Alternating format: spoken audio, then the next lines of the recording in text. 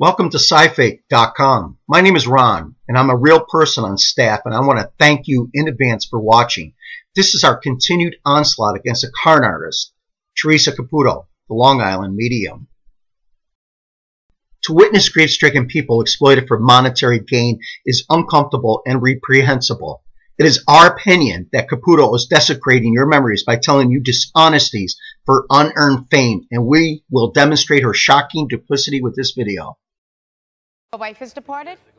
Okay, because she just, she sat next to you and she said, just sit down, just sit down. Would that be her personality to tell you just... Here, Theresa Caputo is engaging an audience member with charm and domination.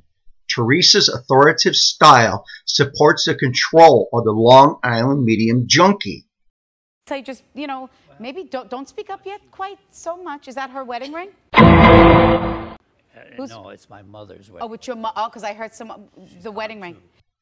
Caputo engages in a practice that is known as cold reading. Cold reading is an artful method of fishing for information while giving the impression that she is getting your information from some special source.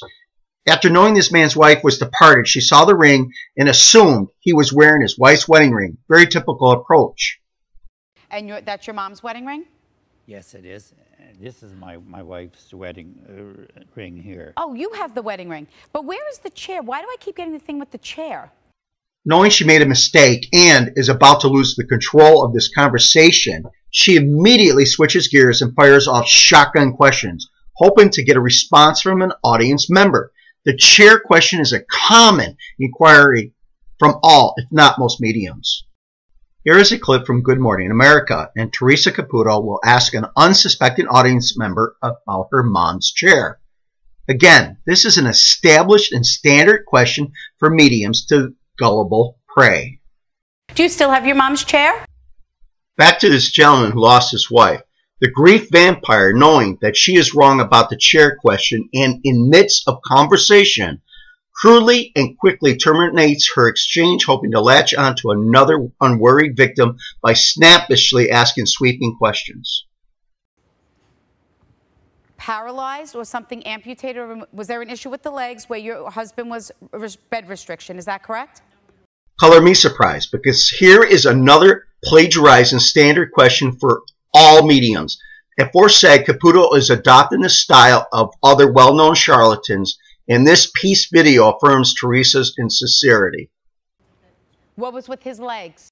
Hook, line, and sinker. Again, Caputo is fishing for prey by firing off shotgun questions, hoping to hit her target, and this approach is part of her cold read performance.